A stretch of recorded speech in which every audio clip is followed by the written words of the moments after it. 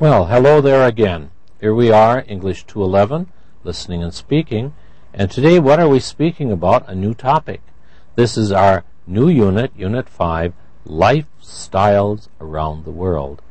Style is the way you do things, and in different countries, people have different lifestyles. Also, within a country, people in different professions or different areas might have different lifestyles. And what we're going to be talking about in the conversation single parents, a very common phenomenon today. Our lecture, which you will hear today, is The Changing Family.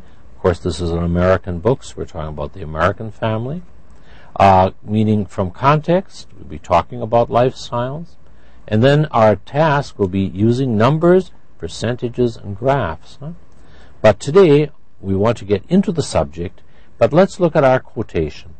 This is a well known quotation today it takes a village to raise a child. Now, what does that mean? It means a child learns from not just from his parents and his brothers and sisters, he learns from all the people around. Now, I don't think here you have that's not such a problem because you have large families, you have many relatives. But now, many times in places like London or New York, uh, someone may grow up in an apartment and just sees his mother or his father, doesn't have much social contact with other types of people. So that's the idea. It takes a village. Huh? It's not good to just be very limited. You learn from a lot of different people. Okay, let's get the context of our conversation uh, today. Here we have two young men looking together, and we're asked describe the relationship. Most of my students say this is probably brother, a big brother and a little brother. I think that's very possible. I think he looks very young to be the father. It could be. Uh, where are they? Well, they're in the house somewhere. It looks like in maybe a playroom or a study room or a workroom, but certainly at home. What is the man doing? He's working on his laptop, and the little boy is playing with his car there. He's having a nice time. Imagine a typical day for this man. How is it different from a typical day for your parents when you were a child? Well, hard to say. Times have changed. It was a hard life for most of our parents. They had to get up much earlier than we do. They had to work longer hours than we do. So probably our, t- our day is an easier one than that of our parents. Now we move to the actual subject of our conversation. Remember, a single parent. And here we have a picture of Sharon, a single parent. A single parent means she's alone. She, her husband is not there. We don't know if her husband died, whether her husband's left, her husband works somewhere else, but she's all alone bringing up the child. And we're going to hear about the situation for Sharon. And that is the conversation that we're going to hear very soon. Pre-listening questions. What does it mean to ask someone for a favor? To ask for a favor, you want somebody to do something for you, not for money, just to be nice, huh? So let's say that I'm sitting in the, you know, in the airport and I'm reading a book and I need a tissue, I want to sneeze, I could ask someone and say, do you mind, could you do me a favor, give me a tissue or something. So a favor is something nice you do for someone. Clearly not for money, huh? Uh, number two, we talked about this. What is a single parent? A parent who is alone. Usually it will be a lady, but sometimes a man may lose his wife. A man may be uh, taking care of a child, and so he's then a single parent. Uh, three, what kinds of challenges do you think single parents face? Well, if you're a single parent, maybe you have to work. That means your child need someone else to take care of it, huh? So, yeah, special challenge. A lot of people today, and we're going to hear about that later. Vocabulary. Let's look at our vocabulary here. As we oftentimes note, sometimes we have uh, phrases, sometimes words. I think all of these are phrases. I will look into your problem as soon as I have time. We say look into is a phrasal verb, two word verb. Huh? It has more than one word look into, and we chose C to find information about something. Huh? Someone comes to me and says, uh, You know, um, I didn't understand, you know, the quiz last week. I say, well, I'll look into it. I'll check on it. I'll see what the problem was. Number two, if I don't take off right this minute, I'm going to miss my bus. Well, this is a very colloquial use of take off, and of course we've chosen E, meaning to leave. Huh? Now, you wouldn't use this formally. Huh? This means to leave quickly, and it's in spoken English, not in written English. Number three, a, a plane takes off, but that's different. People usually just leave. I must leave. But if you want to be uh, a little bit more figurative in your language, yes, I need to take off. I have to leave quickly. Number three, my mother is very old fashioned. She doesn't like new ideas. Old fashioned, adjective, doing things in the old way. So what do we have here? Be not modern. Modern is the opposite of old fashioned. Uh, number four, time is running. Let me move that cursor there. Time is running out for me to finish this paper. It's due tomorrow. Running out means it's going, it's not there anymore. So if it is running out, means it's almost gone. So what did we choose? D, to end. Well, once it has run out, if it is running out, it's almost finished, huh? Almost ended, okay? Yeah, close to the end. If I say my money has run out, that means yes, I have none. But if it is running out, I mean I have a little, it has not yet run out. Okay, maybe we should make that distinction. Number five, my mother is sick. I want to check up on her on my way home from work. Check up on to make sure about. Notice here A to see if someone is okay. It can be someone. You can check up on your notes. You can check up on a person or on things. Now I'm going to ask you to listen to this conversation and to try and hear the answers to these questions. What does Sharon want from Alicia? Why? What surprised Mari about Sharon? And three, how does Mari feel about bringing up a child alone without help from relatives? Remember, Mari is from a different country, from a different culture. She's from Japan. Sharon and Alicia are from America. Sharon has a special problem, and Mari is surprised. Okay? Let's see.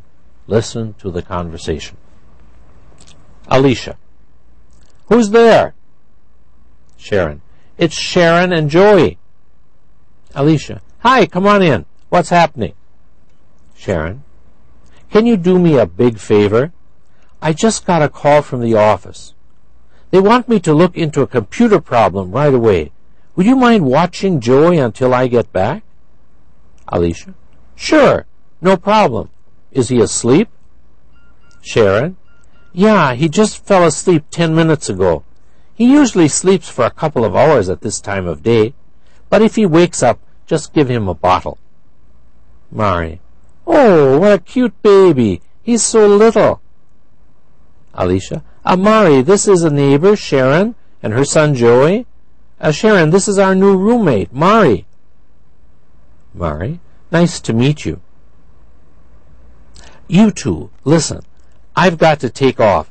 Thanks so much for helping me out. Mari. Alicia and Mari. Bye. Mari. Hey, I didn't know that you liked looking after babies. Alicia. Well, Joey is special. I take care of him from time to time when Sharon's busy. And then she does favors for me in return. Like last week, she lent me her car. Mari. And her husband, is he? Alicia. Uh, she's widowed, actually. Mari. Really? Alicia. Yes, but I think she's happy being a mother. Nancy. Hi. Mari Alicia. Hi. Nancy. Uh, what were you talking about? Alicia. That my neighbor Sharon is very happy to have a baby. Nancy. Oh, yeah. She and her husband were worried that time was running out. You know, like, what if they never had a baby? Mari, maybe I'm old fashioned, but I could never bring up a baby by myself. I think it would be so difficult. Nancy, yeah, raising a child is tough. I'm really lucky I met Andrew. Mari, and if you have a baby, you'll have Alicia to help you with babysitting. Alicia, we'll see. Speaking of babysitting, I'd better check up on Joey. A lot of people there Sharon with Joey, Nancy coming in, Mari, and Alicia. Okay, what does Sharon want from Alicia? Did you hear that? What does she want? She wants Alicia to take care of, to look after Joey, because she has to go into work. That's why she had a call from work. She has to go in quickly. She needs someone to take care of the baby.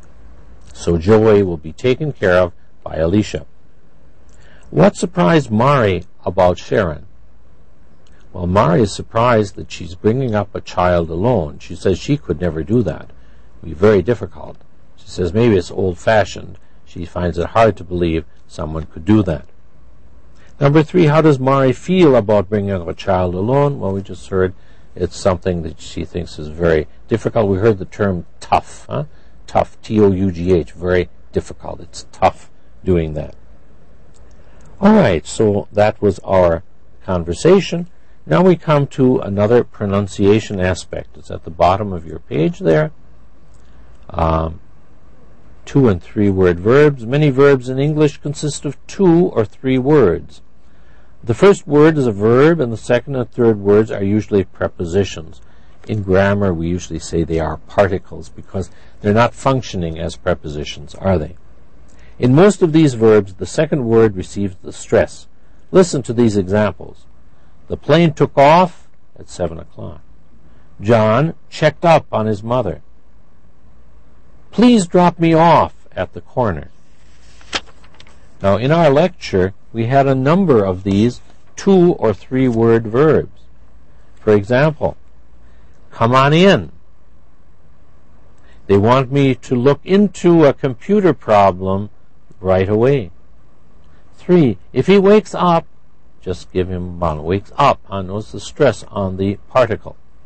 Four, listen, I've got to take off. Five, thanks so much for helping me out. Huh? Help out number six, I take care of him from time to time when Sharon's would take care of. Huh? Take care of is really three words. Huh? Seven, she and her husband were worried that the time was running out, to run out. Eight, I could never bring up a baby by myself. Bring up, I hope you know, means to raise from a child. Huh? Parents raise or bring up their children. Or nine, I better check up on Joey. Check up to see if there's any problem. Now, we had a nice cloze exercise. I hope you did this or will do it. Here I've solved it for you. Babies, special, huh? notice this word S-P-E-C, huh? Now we have different words with special. Huh? We have especially and specially, species, huh? But many times pronounced as a sh. Okay? Busy, husband, a widowed. We didn't discuss this word. A widow is a person who's lost her husband. Huh? So the husband dies, we say the man, the woman is a widow. If the woman dies, the man is a widower.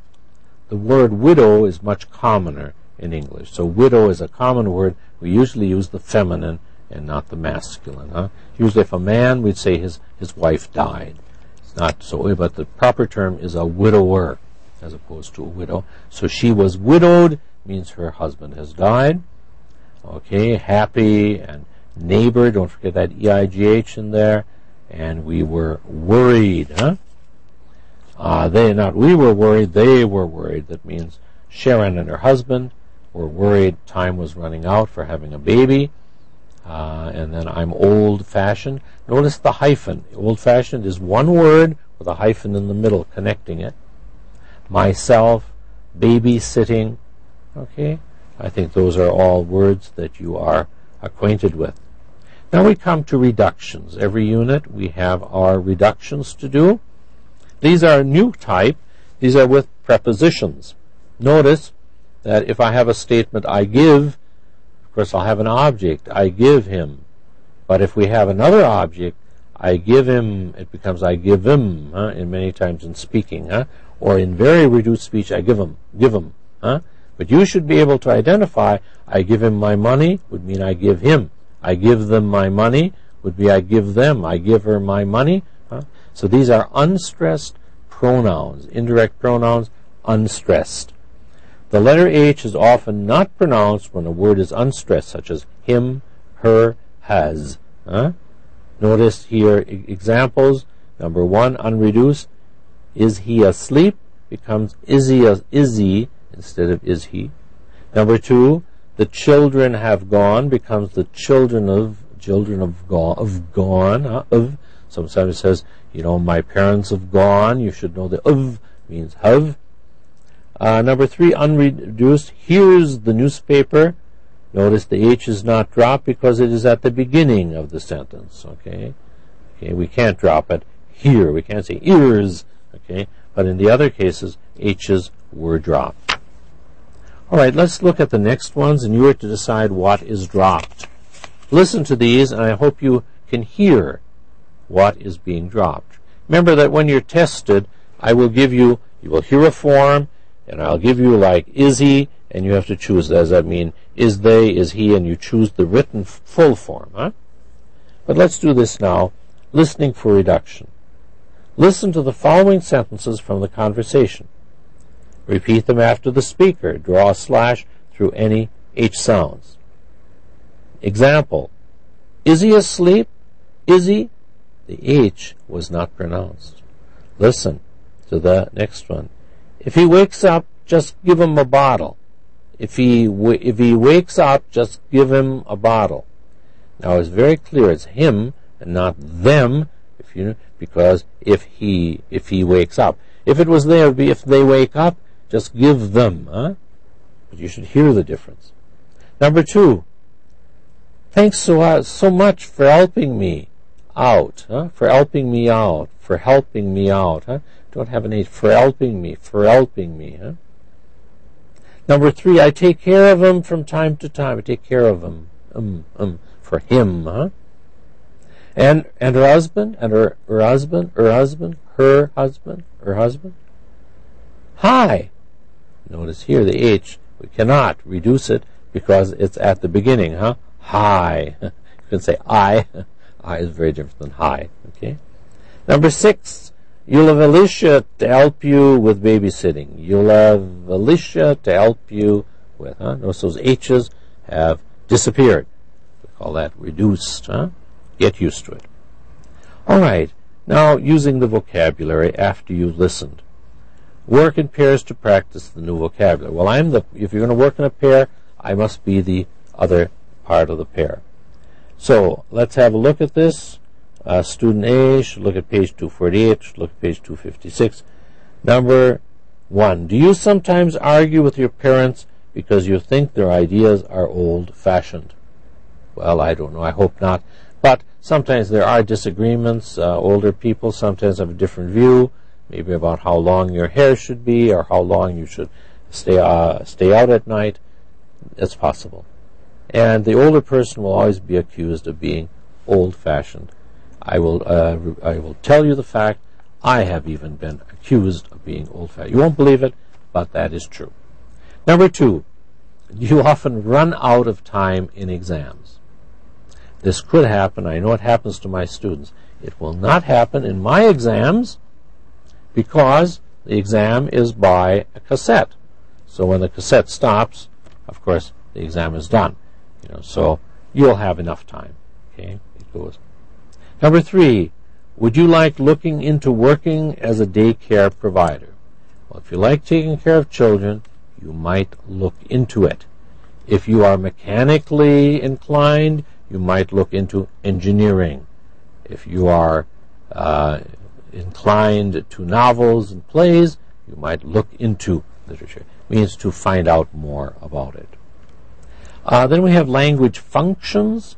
Uh, these are not things I'm teaching you in the sense that you have to remember how to do them, but you should recognize them when you hear them. Asking for help. Can you do me a big favor? Would you mind? Huh? These are ways of requesting. Here the answer, sure, no problem. Of course, naturally, absolutely, huh? All nice ways in which you can agree. And you have a nice table on the next page which indicates some of these. You asking for a favor, can you? Could you? Would you? Could you give me a hand? Could you help me? Would you mind? All of these are different ways of requesting. If you agree, yes, okay, sure, I'd like, I'd like to, I'd be glad to. The way to refuse, I'm sorry, I'd like to, but uh, I would if I could, but I can't, and so on. Things like that, huh? These are things you should recognize. Um, that takes us to the end of the first part of Unit 1, but it's not the end of our work today because you have another lecture.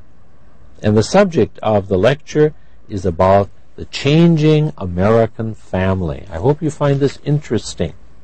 Now remember, the best thing you can do is now listen to this. Try to understand it. Identify words that you don't know. We'll be practicing them later.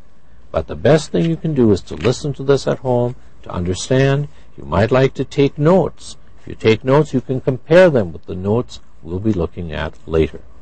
Are you ready? I need some refreshment.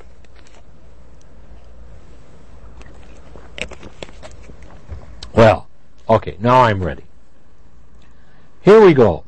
This is your lecture for Unit 5, The Changing American Family. Have you ever seen the old television show Father Knows Best? You probably haven't. I have, because it was a popular comedy show in the 1950s, way before you were born. And I'm sure of that because I was a little boy at that time. So it's certainly before your time.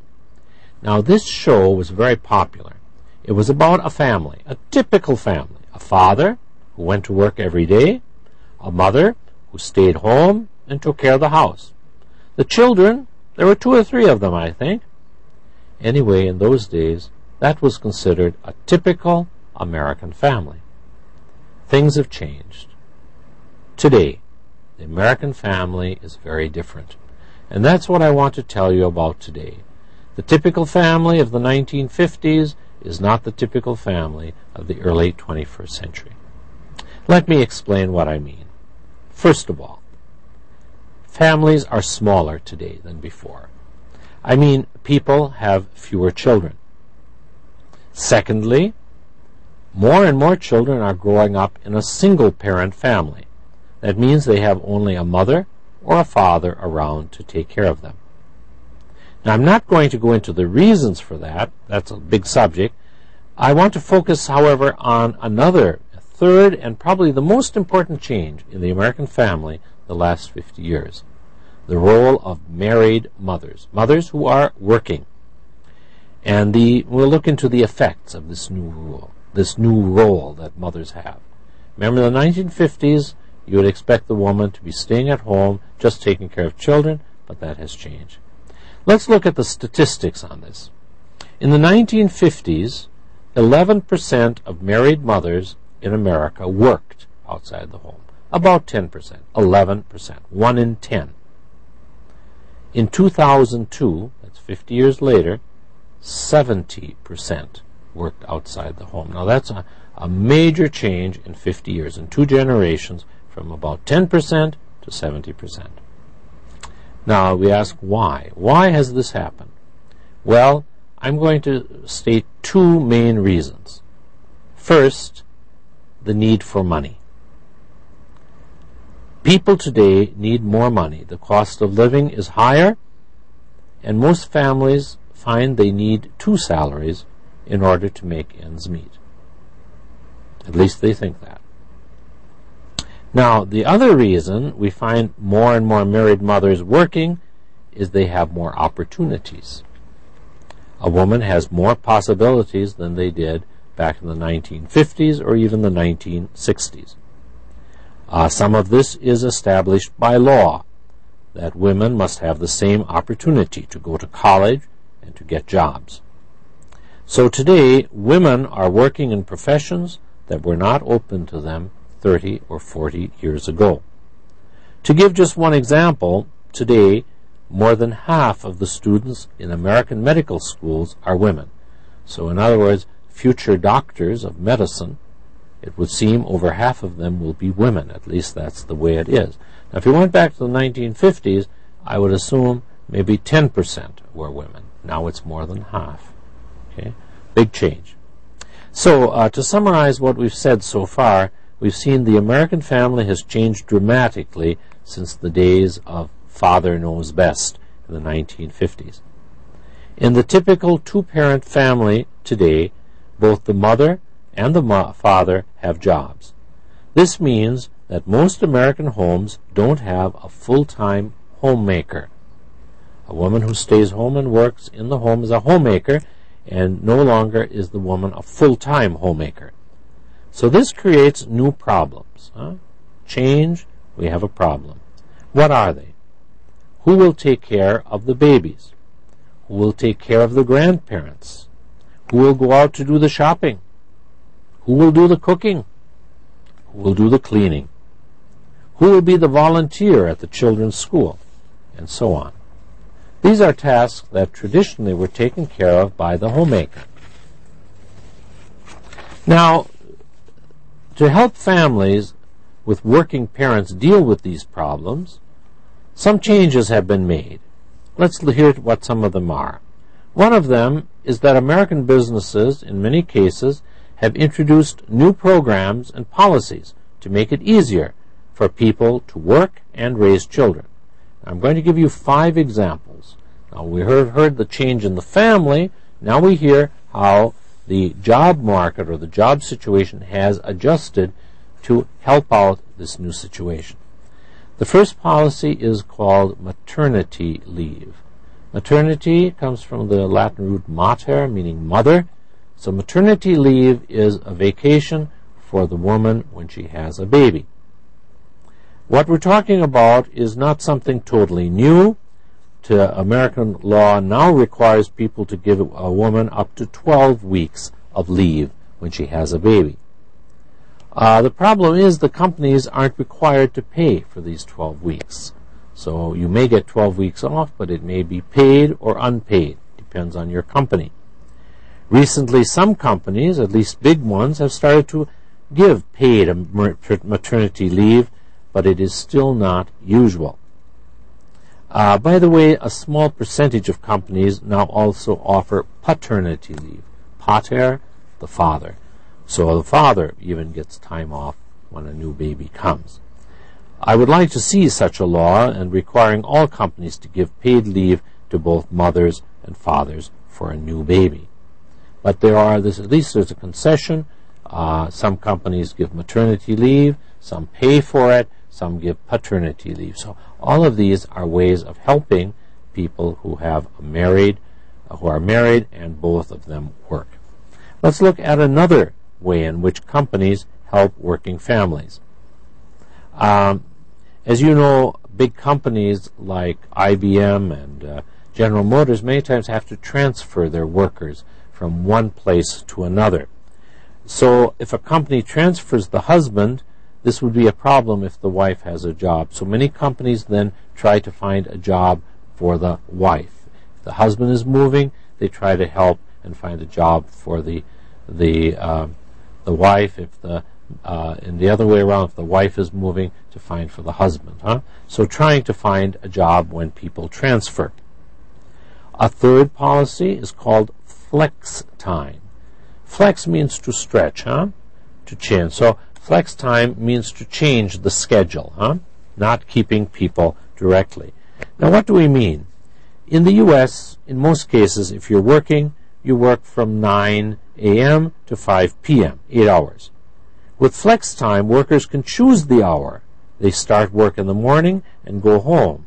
So the, the mother could go to work at 5 and come back at 12. The man could leave at 12 and come back. So at least they could, one stays home and the other works. is called flex time, flexibility in the timing. So that would be a good thing for the children. They'd always have at least one parent in the home. And a fourth uh, change I'd like to describe is called teleworking or telecommuting. Tele always means over a distance, huh? And so today, in many companies, you can work at home and keep in touch with your company either by a computer or by telephone. Huh? So the people who work at home use the computer or phone to communicate with their workplace. Uh, today, about 15% of the U.S. workforce telecommutes. You know the word commute. Commute means to go from your home to your your uh, job. So here you're telecommuting. Actually, you're not traveling. Your information is traveling by computer. So teleworking or tele. Tele, T-E-L-E, huh? like television. Okay. However, the percentage of people teleworking or telecommuting is growing all the time. Um, if parents are allowed to work at home, their children might not have to spend so much time in child care. So if you stay at home, you maybe can also take care of your children. Now, speaking of child care, we come to one other fifth point. Many companies, some of the better companies, offer daycare on site. That is to say, the company has a daycare center on, in the company. So people come to work, they bring their children with them, they stay there, and then they can take their children back with them in the evening. So that's another nice idea, offering daycare at the company. Now, um, let me review what I've been talking about. Uh, first, we heard about how the you know the job, the family is changing, married mothers being a very important part of it, and then we looked at five ways in which policies can be changed or programs can be made to help people who have working uh, mothers and fathers, where the father and mother are working. So um, it's very important to see that this is the direction which the world is going, and so we have to see how this will all work out. But it is certainly part of the changing family scene in America. Thank you.